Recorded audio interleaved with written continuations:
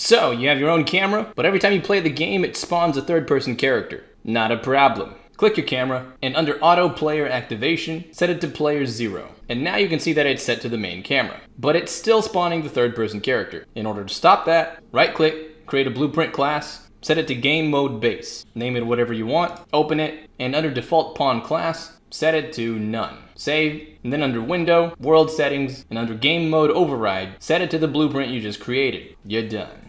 Hope that helps, and as always, hope you have a fantastic day, and I'll see you around.